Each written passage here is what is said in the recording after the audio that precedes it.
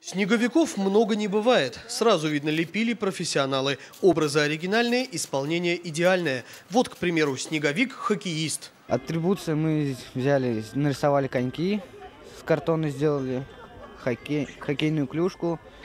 Шайбу вот забыли привезти, хотели шайбу еще привезти. Вот.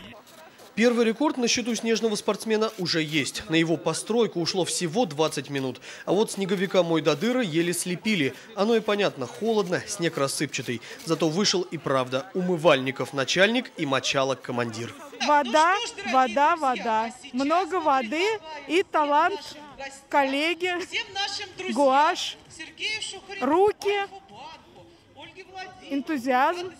Рядом стоит снеговик-пират. Повязка на глазу, попугай на плече, сабля – все при нем.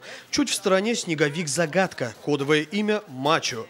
Личность темная, но колоритная, считают авторы. Фактурный такой товарищ. У некоторых такие вот толстенькие какие-то, развалившиеся. А у нас, несмотря на такие погодные условия, что плохо лепить снега, он вышел элегантный, экстравагантный и самый неулыбающийся. Независимый такой. И на весь снежный мужской коллектив всего одна снежная баба по имени Маруся. Одна зато какая. Банан вместо улыбки, но с морковкой вызывающая красная юбка. В общем, не баба, а дама. Трудились над ней сообща. Даже министр соцполитики Ольга Носкова лопату приложила. По-моему, женщины э, и когда они люди, и когда они из снега сделаны, женщины красивее. Они эффектнее как-то выглядят. Ну что вот, ну, представьте себе мужчину с такой улыбкой, ну, дурак дураком, а женщина обаяшка.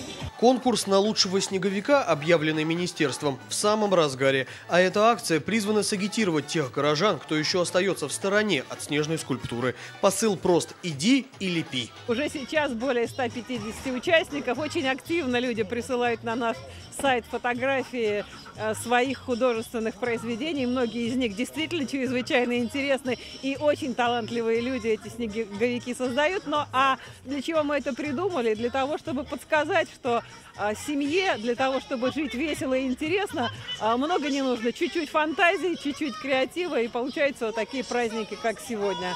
Завершится конкурс в феврале. Самых-самых ждут призы и подарки. Какие? Держатся в тайне. Что же до акций, то все остались довольны. Детям горки и снежки, родителям глоток свежего воздуха в начале рабочей недели, а Нижегородскому Кремлю новая скульптурная группа.